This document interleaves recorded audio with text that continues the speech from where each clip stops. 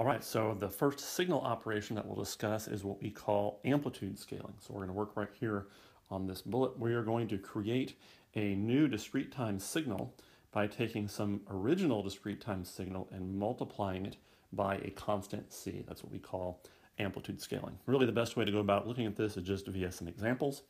So here in our first example, we will work with the discrete time signal x of k.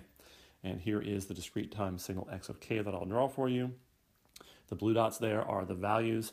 So at time minus 5, the signal is equal to 0. At time minus 4, the signal is equal to 2.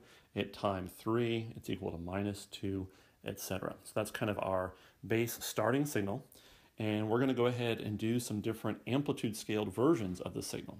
So in this first example here, let's actually sketch what 2 times x of k looks like. So let me go ahead and redraw my axes. And then we will sketch the signal 2 x of k. And that really is as simple as it sounds. I'm just going to take every point that I had previously and multiply by 2. So for example, at time minus 5, originally I had 0. 2 times 0 is still 0. At time minus 4, originally I had a value of 2. 2 times 2 is 4, so I plot a 4. And then we just continue doing that for all the values. A negative 2 times 2 is minus 4. 1 times 2 is 2. A negative 1 times 2 is negative 2. At time 0, we had a value of 3 previously. 2 times 3 is 6, so now we have a value of 6 there. And you just keep going on multiplying by 2 at every point along the time axis. So pretty straightforward. All right, let's go ahead and do one more example. What if we wanted to sketch the signal negative x of k?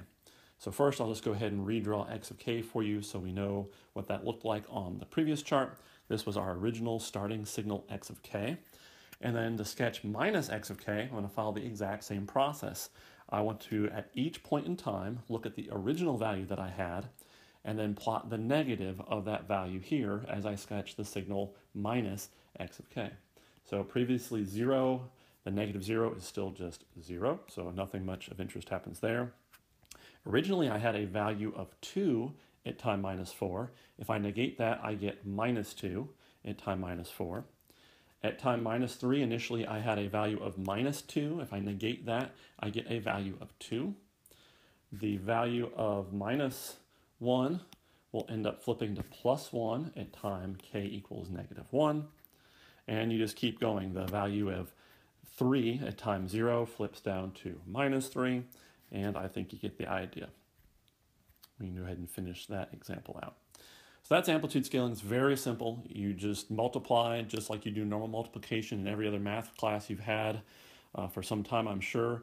The difference being we kind of do it at each time k. So to do amplitude scaling, just think of it each time k, you're doing this independent amplitude multiplication. That's it for now. In the next video, we'll get on to our next signal operation. We'll take a look at signal addition. And that's also a pretty simple operation as well, but we'll work through a few examples.